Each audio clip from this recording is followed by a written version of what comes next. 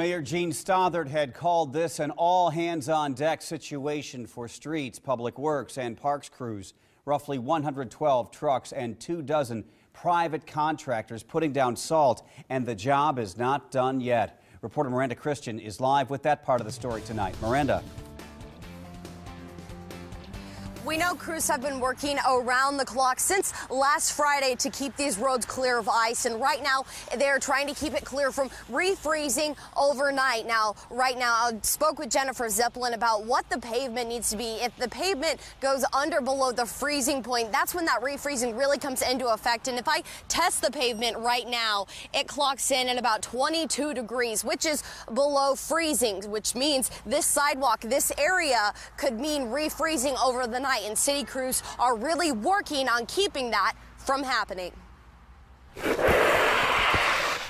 The day started with rain and a bit of ice on the streets. The main roads started to clear throughout the day. Uh, the roads were pretty much fine, but last night they were pretty iced over and stuff. Later in the evening, the ice had started to melt off the trees and the streets were just wet.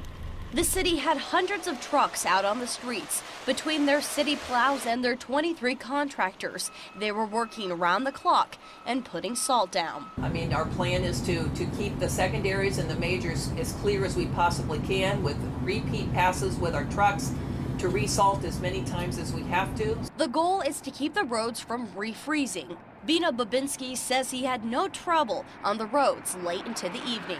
Even though I have four-wheel drive, I don't I didn't find the roads slippery at all and I tried my brakes even on the side streets and I was fine. NDOT says they will be out on the highways and interstate to watch for any refreeze. Well, they're out for the evening and then they'll check they'll be out all night. I'll have crews out all night and we, the interstate will be good for the morning commute.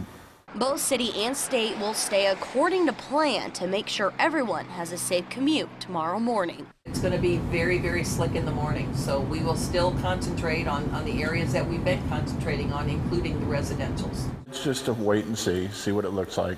It'll probably, we'll probably be out during the morning commute, and it'll probably end shortly after that.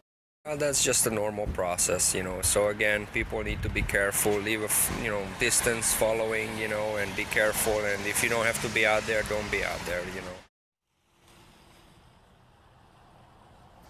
Couldn't really have said it better myself there, but even though road crews are going to be out this evening, if you go out tomorrow, please know to be careful because there may be some icing. As I've stood here, I have, have seen city and state plows go by me, so they definitely are out tonight trying to keep you safe. Reporting live, I'm Miranda Christian, KMTV Action 3 News. Wow.